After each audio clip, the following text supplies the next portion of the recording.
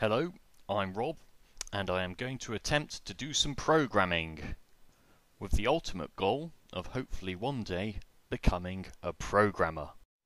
Today is Saturday, September the 13th, 2014, which is the 256th day of the year, which makes it Programmers Day. So happy Programmers Day, everybody.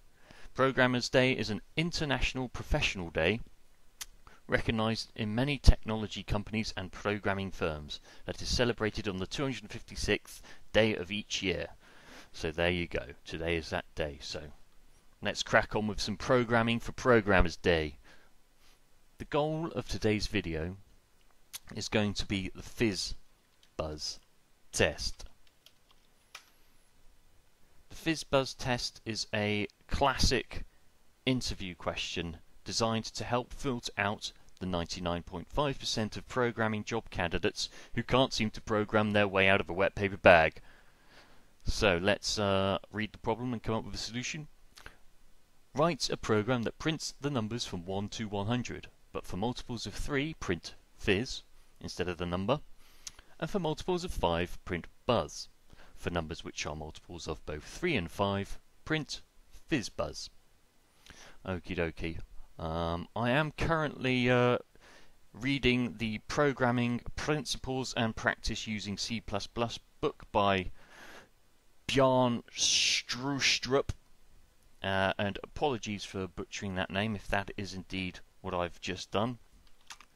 Hopefully, using some of my uh, newfound C++ programming skills, I can write a FizzBuzz application programming solution in uh, C++. So, um, Let's um, read the first part of the problem. Let's break it down. Write a program that prints the numbers from 1 to 100. That should be fairly straightforward.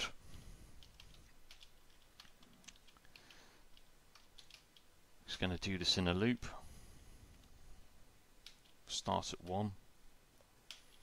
i is less than or equal to 100, so we go from 1 to 100 and our loop i plus plus will increment it by one. cout i new line. We'll do on actually we'll tab them, separate them by tabs. Let's see if that will build. We have compiled the first step of our FizzBuzz test. Let's run it. 1, 2, 3, 4, 5, 6, 7, 8, 9, 10. That is 1 to 100. Perfect. It's running the next step. But for multiples of 3, print fizz. Okay, so we need to add to our program an if statement. If um, so if i is divisible by 3, so the remainder of i divided by 3 is equal to 0. Let's get rid of that cout, that's going to be an else and this cout will be fizz. Let's see what that looks like. So if i is divisible by 3, fizz. Let's build. Let's run. Look at that. 1, 2, fizz for 3. 4, 5, 6, fizz. 7, 8, 9, fizz. 10, 11, 12, fizz. 13, 14, 15. You get the idea all the numbers up to 99 are divisible by 3 uh, have been replaced with fizz. So, so far so good. Uh, the next step is to, um, for multiples of 5, print buzz. So, we need to add a line, an if statement above um, the divisible by 3 one. Uh, so if it's divisible by 5, it's buzz.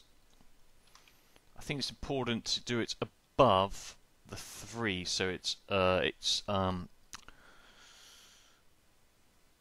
Is, is that right? Yeah, because otherwise the numbers divisible by 3 and 15 would get uh, fizz, buzz, fizz, fizz, buzz.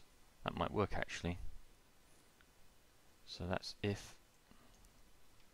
Let's see what that does.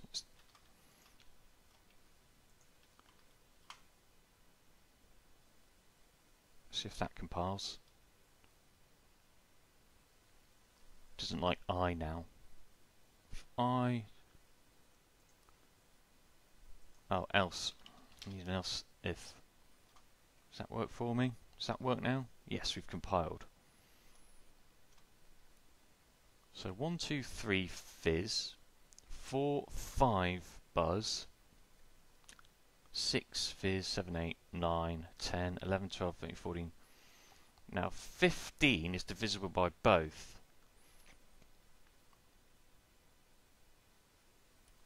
So we want that to be fizz buzz, I believe. That's the last part of the solution.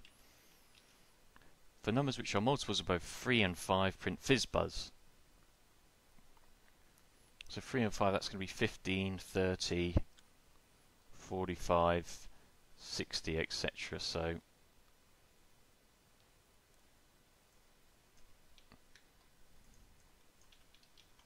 Fifteen, fizz buzz. Is that just going to work?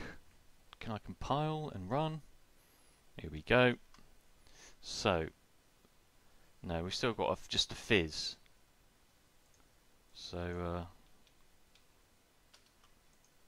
we need to we to do it like this. So 15 is first. Let's just do a numerical order just for neatness. So 15. So we'll test that that state first. Then if it's divided by five, then we should get all our fizz and buzzes in the right place. Run. One, two, three fizz. Four buzz. Five is divisible by five. Obviously buzz. Fizz is six, seven, eight, nine. Fizz. Ten buzz. 11, 12 fizz, 13, 14, 15 fizz buzz, um, 16, 17, 18, 19, 29, 30 fizz buzz, 45 fizz buzz. Looks like we've um, cracked it.